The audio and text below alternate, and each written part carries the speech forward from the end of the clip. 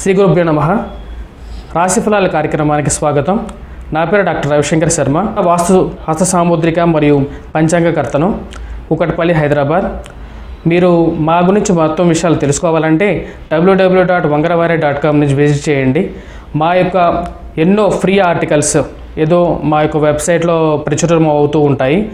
మరియు మా యొక్క వీడియోస్ని లైక్ షేర్ సబ్స్క్రైబ్ చేయండి.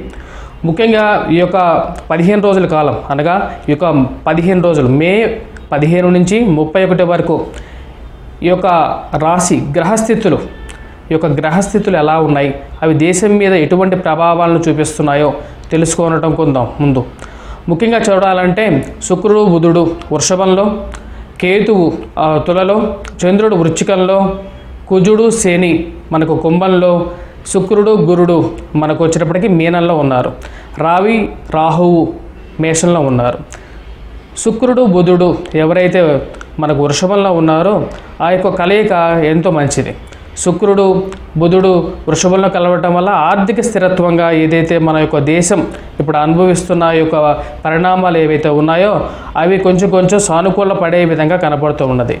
దేశవార స్థితులగతులను బట్టి దేశంలో మొత్తం మీద ఆర్థిక ఇబ్బందులు అనేవి తప్పవు. మరియు కేతువు ఎక్కడైతే ఉన్నాడో కేతువు ఉన్న స్థానాన్ని బట్టేసి ఈ యొక్క మాదక ద్రవ్యాలు ఉపయోగం అనేది ఎక్కువగా కనబడుతూ ఉంటుంది. చంద్రుడు ఉన్న స్థానాన్ని బట్టేసి ప్రజలు రోగగ్రస్తానికి గురవటానికి ముఖ్యమైన కారణంగా కనపడుతూ ఉన్నది. కుజుడు శని. కుజుడు శని. శని వచ్చినప్పటికీ మూల త్రికోణంలో కుంభంలో కలడు. కుంభంలో కలిగిన యొక్క శని ఎంతో అదృష్టాన్ని కలిగించగలడు. కానీ కుజుడు ఉన్న స్థానం అనేది అంత సరైన స్థానం కాదు. ఇది అగ్ని ప్రమాదాలకు యాక్సిడెంట్స్ని ఎక్కువగా గురి చేసే విధంగా కనపడుతూ ఉన్నది. శుక్రుడు గురుడు ఉన్న స్థానం అనేది చాలా మంచి స్థానం మీనస్థానం. ఈ యొక్క మీనస్థానంలో శుక్రుడు ఉచ్చ స్థానంలోను గురువు స్వస్థానంలోనూ కలడు. ఇటువంటి స్థానం అనేది చాలా మంచి స్థానం అనేది చెప్పవచ్చు. విద్యార్థులకు చాలా మంచి ఫలితాలను కలిగించే ఒక సూచనలు కనబడుతూ ఉన్నాయి. విద్యా సంబంధిత విషయాలు నిదానంగా స్థిరపడే విధంగా కనబడుతూ ఉన్నది. ఏవైతే మనకు రా క్రితం రెండు సంవత్సరాలు ఏవైతే విద్యార్థులు మరియు ఉపాధ్యాయులు అనుభవించిన యొక్క ప్రతిబంధకాలు ఉన్నాయో వాటి నుంచి స్థిరంగా వాళ్ళ యొక్క కోలుకునే విధంగా కనబడుతూ ఉన్నది. శుక్రుడు ఉచ్చ స్థానంలో గలడు. వివాహ సంబంధిత విషయాల్లో ఇక ప్రేమ సంబంధిత విషయాల్లో కొంచెం ఆచితూచి ప్రజలందరూ వ్యవహరించవలసిన ముఖ్య సూచనగా చెప్పబడుతున్నది. రాహు ఉన్న స్థానం రాజకీయ నాయకులకి అంత ప్రతికూలంగా కనపడుతూ ఉన్నది. ఇప్పుడు మనం ఈ యొక్క ద్వాదశ రాశుల ఫలితాలు ఎలా ఉన్నాయో చూద్దాం. మీనరాశి. మీనరాశి వారికి ఇంకో పదిహేను రోజుల కాలం అనగా మే పదిహేను నుండి ముప్పై ఒకటి వరకు ఎలా ఉండబోతున్నది. ఇక మీనరాశి వారికి ముఖ్యంగా చెప్పాలంటే రాశి ఫలం చెప్పబోయే ముందు గ్రాహి గ్రహస్థితి. గ్రహస్థితి గురించి చెప్పాలి అంటే ముఖ్యంగా చెప్పాలంటే లగ్నాధిపతి నుండి గురు స్వ- స్వస్థానంలో ఉన్నాడు అన్నమాట లగ్నాధిపతి స్వస్థానంలో ఉండటమే ఒక మహద్భాగ్యంగా చెప్పవచ్చు. ఎందుకంటే గురువు స్వస్థానంలో ఉన్నప్పుడు యోగకారకమైన స్థానం అని చెప్తారు అన్నమాట యోగకారకమైన స్థానం అని వెళ్ళినప్పుడు విద్యా విషయంలో వివాహ సంబంధిత విషయాల్లో అన్ని విషయాల్లో పాజిటివ్నెస్ కలుగుతుంది అన్నమాట ఎందుకంటే లగ్నంలో ఉన్న గురువు శుక్రుడు ముఖ్యంగా చెప్పాలంటే రెండు గ్రహాలు సప్తమాన్ని చూస్తాయి. సప్తమాన్ని చూసి వీటికి వివాహ సంబంధిత విషయాల్లో ఒక మంచి అనుకూలతని కలిగించే విధంగా ఉంటుందన్నమాట. ఈ యొక్క పదిహేను రోజుల కాలం దివ్యంగా ఉంది. దాంతోపాటు ఈ యొక్క పదిహేను రోజుల కాలంలో వీరికి శుక్రుడు ఇరవై నాలుగో తారీఖు ధనస్థానంలోకి మారబోతున్నాడు.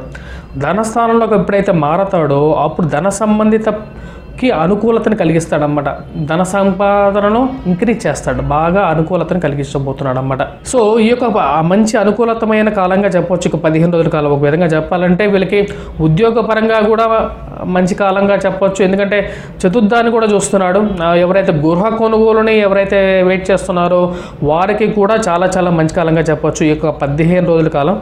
ఎందుకంటే చతుర్థ గురువు ప- చతుర్థాన్ని చూస్తాడు. సో చతుర్థం అంటే స్వత స్వగృహం అన్నమాట. అంటే తల్లి సంబంధిత విషయాలు ఏవైతే ఆరోగ్య విషయాలు కానీ మిగతా ఏవైతే ఉన్నాయో అవన్నీ కూడా కొంచెం సానుకూల పడితేనే విషయాలుగా కనబడుతూ ఉన్నాయన్నమాట. కానీ ధనం అన్ని అధికమైన ధన వ్యయం అన్నమాట. అంటే మనం ఖర్చు పెట్టే ప్రతి రూపాయి ఎందుకు ఖర్చు పెడుతున్నాము?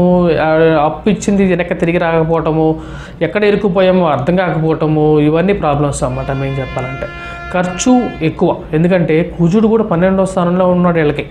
కుజుడు ధనాధిపతి వీళ్ళకి ధనాధిపతి పన్నెండో ఇంట్లో ఉంటే ఏమవుతుంది? అన్నెసెసరీగా డబ్బంతా ఖర్చు పెట్టేస్తారు అనమాట వీళ్ళు ఉన్న ప్రతి రూపాయి ఖర్చు పెట్టేస్తారు. తృతీయంలో మళ్ళీ రాహువు కూడా రెండో ఇంట్లో ఉన్నాడు. సో కాబట్టి ఈ యొక్క జా జాతకులకి ధనం విషయంలో కొంచెం ఆచితూచి వ్యవహరించకపోతే మటుకు చాలా చాలా కష్టాలు పడతారు వీళ్ళు. మళ్ళీ తృతీయంలో మీరు చూసుకుంటే బుధుడు ఉన్నాడు అనమాట చతుర్థాధిపతి బుధుయంలో ఉన్నాడు. చతుర్థాధిపతి మళ్ళీ సప్తమాధిపతి. సప్తమాధిపతి తృతీయాధిపతి స- తృతీయంలో ఉండడం అనేది ఒక విధంగా చెప్పాలంటే శుక్రస్థానం కాబట్టి ఒకవేళ ఆ, యోగకారకమైన స్థానంగానే చెప్పొచ్చు అనమాట అంటే దట్ ఈస్ నో హామ్ సమస్థానంగా చెప్పొచ్చు అనమాట మనం. దీంతో పాటు చతుర్థానంతో పాటు పంచమ స్థానం అనమాట పంచమ స్థానం అంటే పిల్లల విషయం వచ్చేటప్పటికి ఈ యొక్క ముఖ్యంగా ఈ వారికి పంచమాధిపతి అయిన చంద్రుడు వీళ్ళకి వివాహంతో పాటు సుపుత్ర సుపుత్రిక యోగం అంటే పిల్లల విషయంలో కూడా పాజిటివ్గానే ఉన్నాడు. దాంతోపాటు షష్టమాధిపతి. షష్టమాధిపతి అయినటువంటి రవి ధనస్థానంలో ఉండే ధన నష్టాన్ని కలిగిస్తూ ఉన్నాడు అనమాట అంటే శత్రుస్థానాధిపతి వచ్చేటప్పటికి ధనంలో ఉన్నాడు. ఎందుకన్నా చాలా చాలా జాగ్రత్తగా ఉండకపోతే వీళ్ళు మొత్తం డబ్బు పోగొట్టుకుంటారు. జాగ్రత్తగా ఉండాలి. దాంతోపాటు వీరికి ద సప్తమాధిపతి బుధుడు తృతీయంలో ఉన్నాడు. ఇందాక చెప్పినట్టుగా వివాహ సంబంధిత విషయాల్లో సానుకూల ఫలితాలే వీళ్ళకి వస్తాయి. అష్టమాధిపతి అయిన శుక్రుడు వీరికి ఉచ్చ స్థానంలో ఉన్నాడు కాబట్టి ఆరోగ్య విషయంలో కూడా ఒక ఎంతమైన పాజిటివ్నెస్ ఎక్కువగా కనబడుతున్నది. మొదటి పదిహేను రోజుల్లో పదిహేను రోజుల్లో ఇరవై నాలుగు తారీఖు వరకు. ఇరవై నాలుగు తర్వాత కొంచెం డల్ అయ్యే విధంగా ఉంటుంది. వీళ్ళ ఆరోగ్యం అనేది అలసిపోవటం అనేది ఎక్కువగా ఉంటుంది. మానసికంగా శారీరకంగా అలసిపోవటం ఎక్కువగా ఎక్కువ- అవుతూ ఉంటుంది అన్నమాట వీరికి. దీంతో పాటు వీరికి కుజుడు ఎవరైతే ధనాధిపతి అనే కుజుడు మరియు ఆ నవమాధిపతి అనే కుజుడు లగ్నంలో లగ్నంలోకి ప్రవేశించబోతున్నాడు. లగ్నంలోకి ప్రవేశించిన కుజుడు ఒక విధమైన ప్రాబ్లం కూడా క్రియేట్ చేయబోతున్నాడు.